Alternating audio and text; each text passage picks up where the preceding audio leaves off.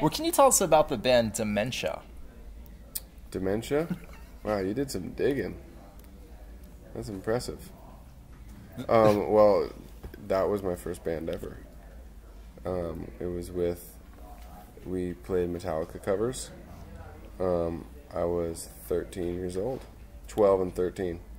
And what were some of those early Dementia shows like? I think there was there was only one dementia show, and it was at my friend Ben Swenson's birthday party. And I remember we learned some Nirvana songs, so like throw in the mix, you know, because we wanted to play only metal, you know, but we're like, oh, you know, we like Nirvana, we'll throw some Nirvana in to, to please the crowd or whatever. But I I always like made sure I wasn't close enough to the mic for anyone to be able to hear my voice. So there's only one show for Only, only one dementia show ever. That's right. And Steve, what can you tell us about the Blockheads? Uh, it's probably not often that you see the people being interviewed look so blindsided and surprised. Uh, Blo- the Blockheads were my high school band in which I played drums. I was a senior, junior, and senior in high school, and the other guys were like in college. So I was really excited because I got to play in a locally notable band with like you know guys that I looked up to, and it was really fun. I got to play like my first shows to people. Like we played a showcase for Lookout Records, one rainy day at Bottom of the Hill, and we played shows at like Stanford with the High Fives and like other bands, and it was just really awesome. It made my high school experience super fun. And you grew up listening, or well, you grew up playing classical music mostly until you heard Paradise City. Yeah, yeah. And how did that song inspire you? It was the first time I saw something kind of crazy and aggressive because the video is like cut with a bunch of live footage from Guns N' Roses shows, and it's the first time I saw like audiences or like I actually perceived like live rock show audiences like chicks like getting crazy and stuff. So it really like impacted me pretty huge.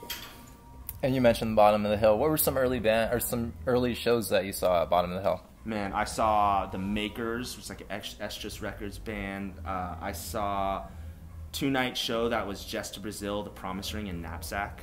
That was one of my favorite shows I ever saw there. What about at the drive-in?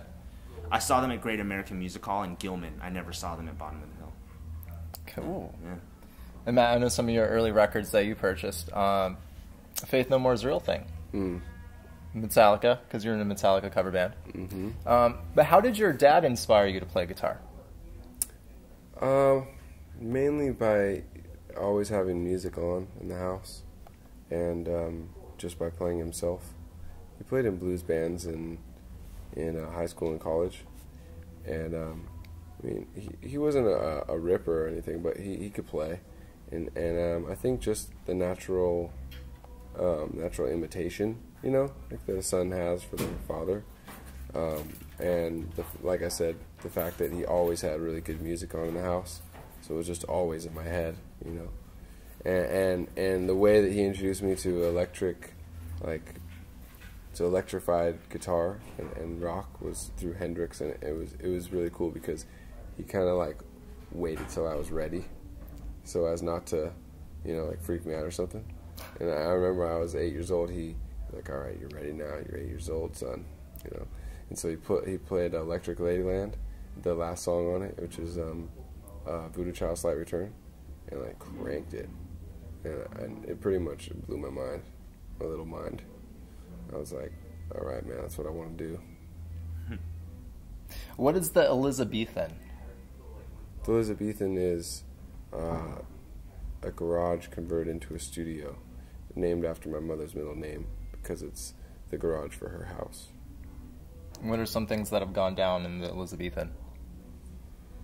Oh, a lot of parties, a lot of uh, different recordings. And this album, the re- the bulk of the writing and the resignation went down. Oh, in yeah, yeah. Absolutely. I, I lived there for a while when I first joined the band. She was gracious enough to like let me stay there so we could actually do the band. And how old were you when you started practicing there? When did it become the Elizabethan?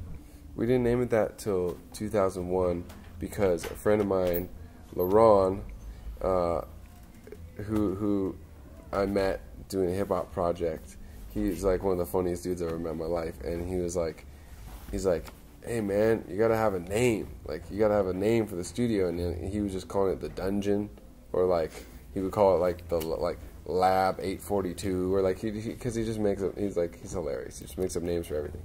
So I was like, okay, I thought about it. You know, named it after my mom because without without her opening up her house the way she did to to everybody, you know, it would have been a lot different of, a, of an experience.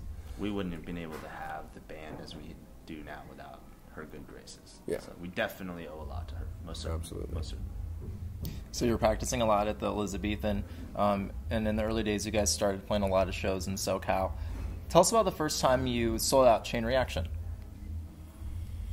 I don't know if this is exactly right, but I think it was in 1999. Um, I believe it was our old bass player's birthday, uh, Franz's birthday. I think that's the first time. Um, I don't know. It was, you know, it was euphoric.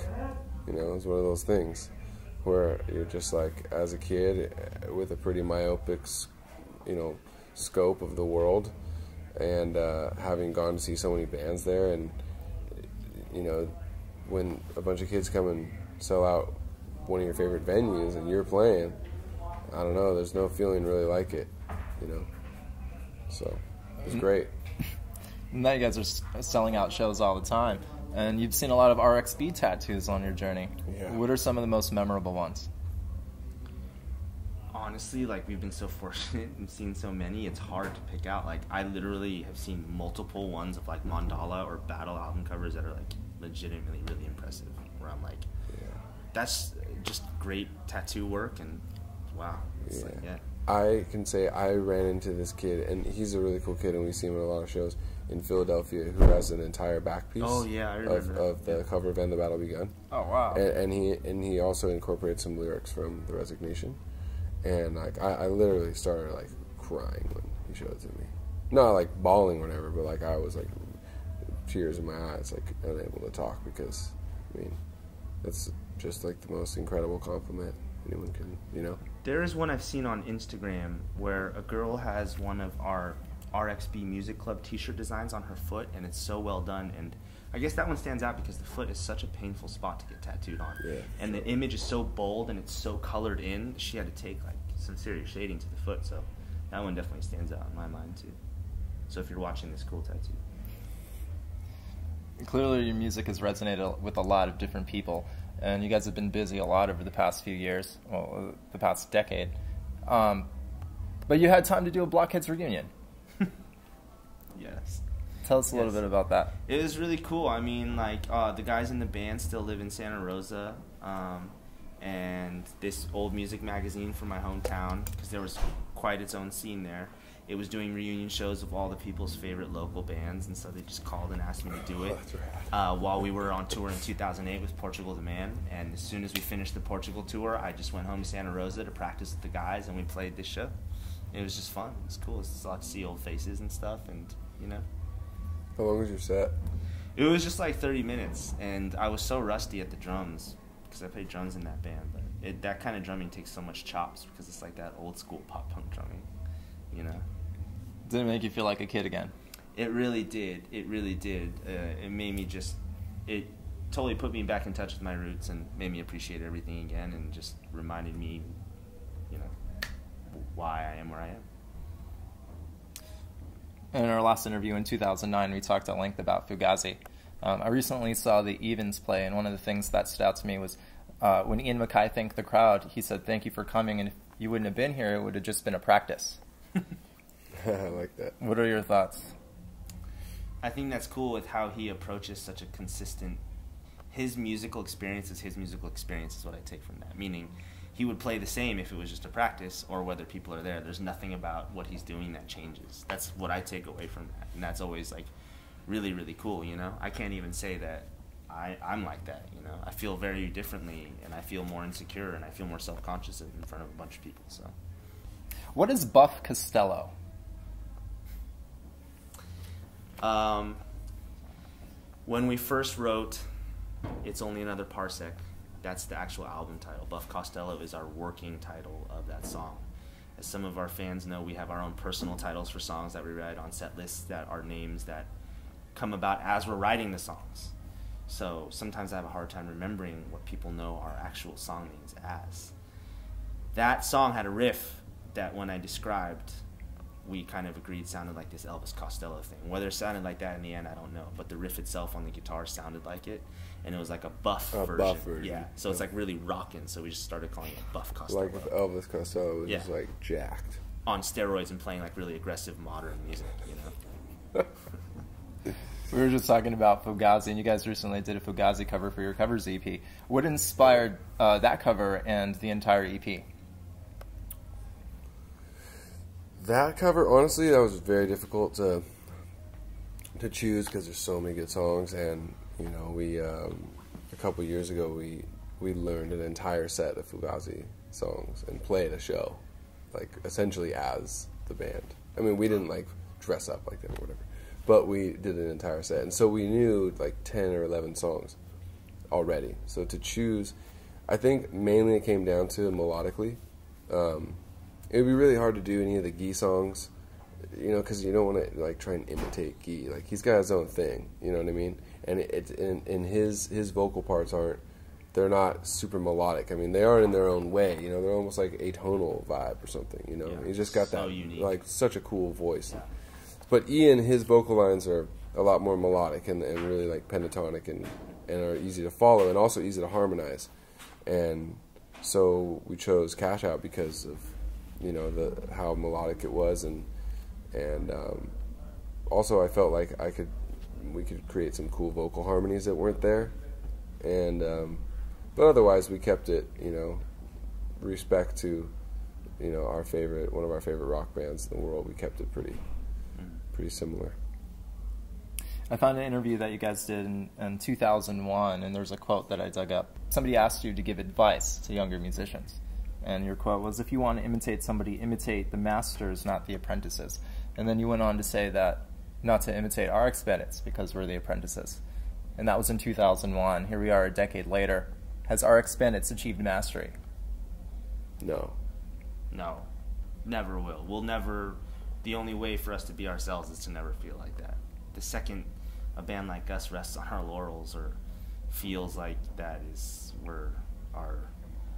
I mean, it's a term in our world, in our microcosm, that's beat to death. But the the their the progress and the evolution stops. You know.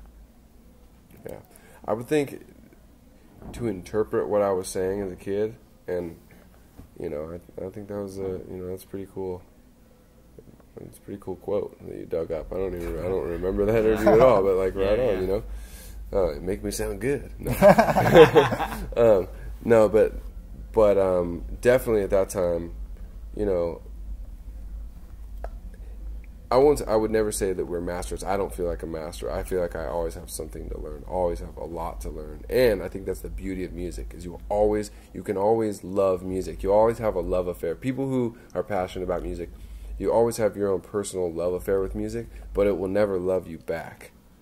And I don't mean that in, in, in a in a fatalist way or anything. I just mean that in the way that it will always be there for you if you want it to be, but it's never going to be something that it's never going to be something that just gives to you easily. You know, Yeah. like it's there if you want. Yeah, it's there if you want to take it. If you want to, if you want to make it what it is. But it's but it it doesn't it doesn't care either way. You know, um, and so I would say that while I don't consider us masters, we definitely have come a long way since 2001.